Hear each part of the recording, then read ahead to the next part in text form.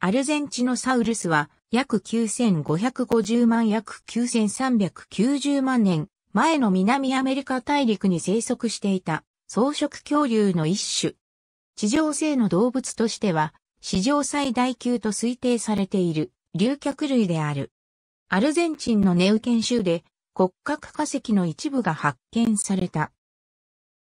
骨の仕組みや太く大きな胴体など、ジュラキのブラキオサウルスやアパトサウルスなどに似ているが、それらが絶滅した遥か後に出現した。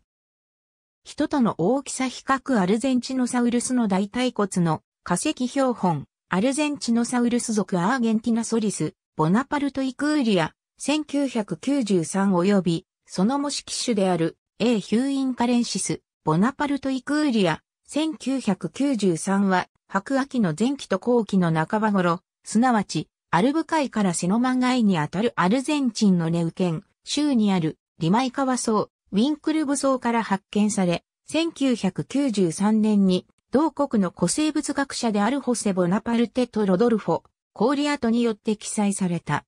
これまでに知られている産地は、基準標本が発見された場所だけである。二人の学者は、アルゼンチノサウルスの記載にあたって、平たい神経トゲや連結部の形態などといった脊椎骨の特徴が、いわゆる真のティタノサウルス類とは異なるとして、それまでティタノサウルス科に入れていたアンデサウルスとエパクトサウルスと共に進化、アンデサウルス化とすることを提唱した。アルゼンチノサウルスというのは、アーゲンティナソリスという属名を金読みにしたものであるため、属の和名とも言えるが、この属に分類されるものは、A ヒューインカレンシス一種が知られるだけであることから、このヒューインカレンシス種にかかる和名であると考えても、ほぼ同じことである。アルゼンチノサウルスの生体復元創造図発見されているのは、脊椎骨、頸骨、不完全なあばら骨、仙骨など一部のみである。一個の脊椎骨だけで、長さが130センチメートルほど、頸骨は155センチメートルほどある。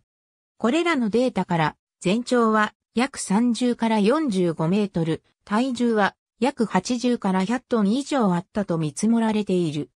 脊椎骨の大きな突起には巨大な筋肉が付着していたものとみられる。本種を存在可能な最大級の恐竜であろうと考える学者もいる。ありがとうございます。